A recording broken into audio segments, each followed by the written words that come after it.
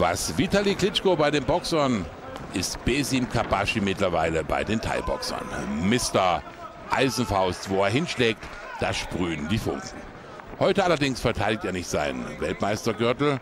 Er hat sich für einen sogenannten Superfight entschieden. Da geht es um keine Meisterehren und sein Gegner kommt aus Frankreich und heißt Corentin Jalon.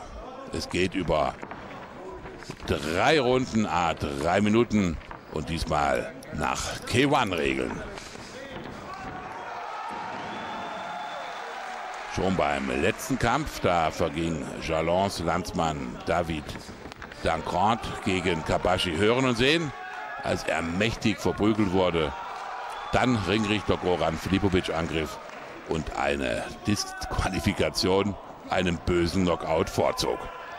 Also auch so kann man einen Kampf beenden, aber da ist dieser Corentin Jalon von einem anderen Kaliber. Der französische Meister stellt sich hier den harten Attacken von Besim Kabashi. Kabashi 29 Kämpfe, 28 Siege, 21 durch K.O. Nur einen Kampf hat er verloren, ebenfalls durch K.O. gegen Soran Doric aus Kroatien, aber im Rückkampf ging es dann mächtig zur Sache und Doric sah ebenfalls das Ende des Kampfes nicht. Corentin, Jalon 25 Kämpfe, 20 Siege, 5 Mal hat er verloren, aber auch 10 Mal durch K.O. gewonnen. Also auch er kann, wenn es darauf ankommt, mächtig zulangen. Nichts passiert. Erste Runde und Besim Kabashi, wie man ihn kennt. Aggressiv.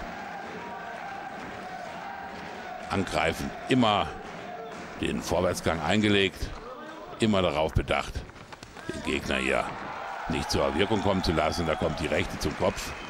Goran Filipovic lässt den Kampf weiterlaufen. Ich denke, da war schon so ein bisschen Wirkung dabei. Da hätte man den guten Chalon auch anzählen können. Schwer hat es hier, sich auf den Beinen zu halten bei den knallharten Kicks von Besim Kabashi, dem 32-jährigen Steko-Schützling. Ja, ist mittlerweile in der Münchner Kampfsportszene einer der ganz großen Publikumslieblinge. Da stehen die Leute auf den Bänken, wenn er zu seinen Kämpfen antritt. Bringt er regelmäßig 1000 bis 1500 Fans mit, die nur wegen ihm kommen.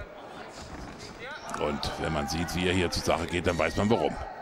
Kampf pur. Besim Kabashi. Pavlica Steko,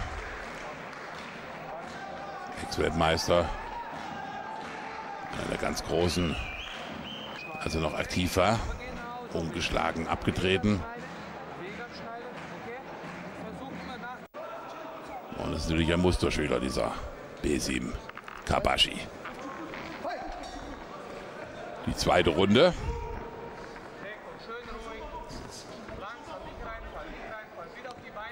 Ja, mal zack hat's gemacht. Die rechte durchgekommen von Jalon. Also der kann es auch.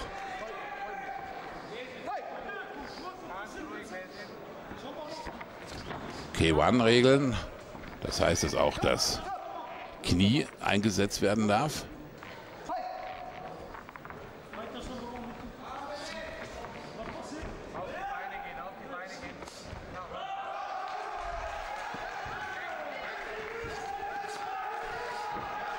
Ja, da ist er wieder. Der Aggressivling. Besim Kapashi.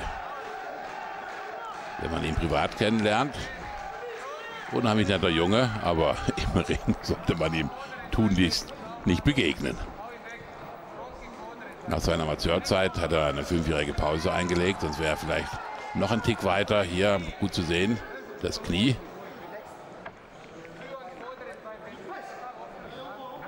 Kaum noch Gegner gefunden, hat ihn das Ganze gelangweilt.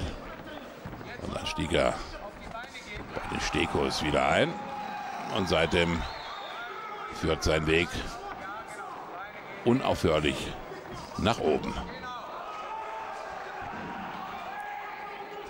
Aber Hut ab vor diesem Corentin Jalon. Kein so ein Angsthase wie sein Landsmann im letzten Kampf. Er stellt sich hier und versucht durchaus auch zum Erfolg zu kommen. Allerdings nach Punkten hier klare Sache für Besim Kabashi. Schauen wir auch mal bei dem Versuch hier mit dem Knie zum Kopf von Kabashi durchzukommen.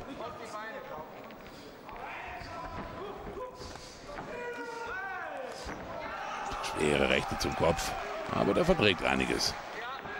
Der Mann aus Frankreich vom Siam Boxing 69 Gym. Wird betreut von Dudu Hashefa.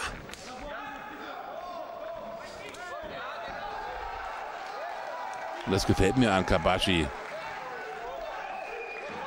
Er ist immer bemüht, hier seinen Kampfstil durchzusetzen. Geht nie zurück.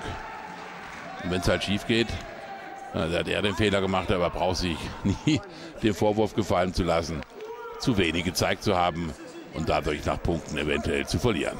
Das gibt es bei ihm nicht.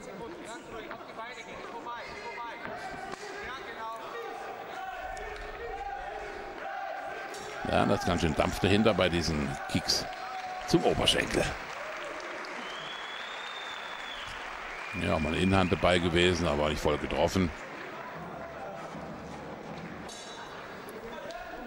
Runde 3. Ersten beiden Durchgänge sind klar an Kabashi gegangen. Auch zu Beginn dieser dritten Runde. Da ist er der Herr im Ring und schauen Sie. Er hatte seine Schwierigkeiten, dieser Jalon, aber diesen finalen Knockout-Schlag, den hat er bislang vermeiden können. Ist recht beweglich im Oberkörper. Gute Beinarbeit. Und das war's dann. Ist auch recht zaghaft, wenn er hier angreift. Immer wieder gute Konter, links, rechts zum Kopf. Ja, wieder Kick hier zum Innenschenkel. Tut alles weh. Und dämpft natürlich die Angriffsfreude des französischen Meisters. Nochmal zu sehen, drei Runden, a drei Minuten. Die letzte Runde hier in einem sehr interessanten Kampf. Besim Kabashi hat er nicht alles aus sich rausgeholt, aber das sind natürlich Fights hier, um nicht einzurosten, um immer im Wettkampf zu bleiben. Und beim nächsten Mal im September, da wird er wieder um seinen Weltmeistergürtel kämpfen. Aber hier reizt es ihn doch nochmal, vielleicht vorzeitig zum Erfolg zu kommen. Kondition hat er auch. Ist ein begeisterter Kitesurfer. Snowboarden, Skifahren. Alles, wo so ein kleiner Kick dabei ist, das gefällt Besim Kabashi.